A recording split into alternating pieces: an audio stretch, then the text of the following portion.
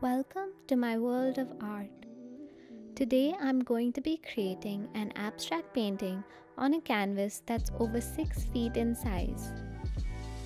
I started off by applying a base coat of light blue as the background of the painting. With the help of a paint roller, I was able to easily spread the paint onto the canvas.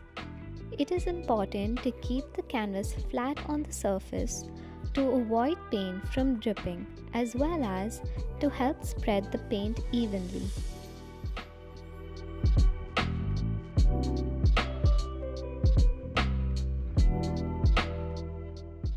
For the next step, I mixed various shades of blues and started applying the paint on different sections of the canvas using a flat brush.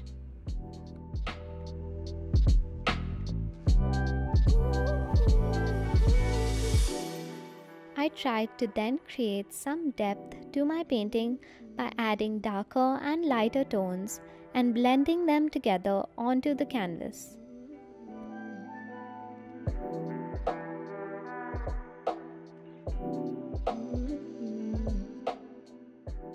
The theme of my painting revolved around blue tones.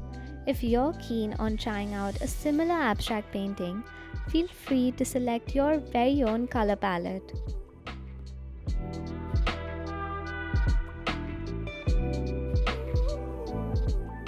I applied around 3 to 4 layers of paint.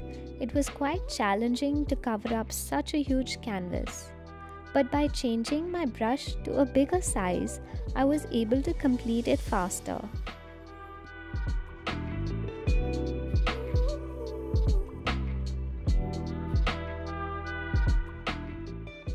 Then poured out some gilding glue and with the help of a flat brush, I spread it out on the areas that I wanted to add leafing paper to. After application of the glue, I waited for 30 to 40 minutes till the glue became very sticky on the canvas. That's when I knew it was time to start placing the gold leaf onto the glue that was applied on the canvas.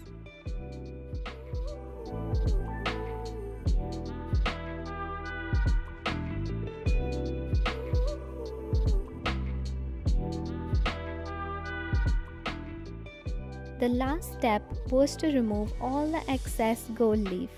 With the help of a soft makeup brush, I gently kept brushing over the gold leaves to remove all the extra particles. After that process, I was left with neatly finished gold lines. I thoroughly enjoyed painting this and I hope you enjoyed watching my process. Thank you.